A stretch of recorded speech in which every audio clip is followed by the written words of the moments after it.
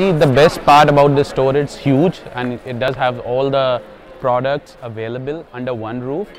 And the beauty about this store is we don't have anything in Noida, such a big show. So I would really appreciate the kind of efforts you guys have done it. And the quality of the product is, is the same. So I have some grocery that I have in the app, uh, in the cart. So looks like the there is a 5, 10 and somewhere 50 rupees difference is also there. So it's good to have this kind of a store in 62. And one thing I really like to appreciate about your bakery stuff, uh, I would like to explore more on that because we don't have a good bakery out here in Noida uh, in the range of next 5 to 8 kilometers. So we have to go to either to Indirapuram or maybe Sector 18 or DLF Mall.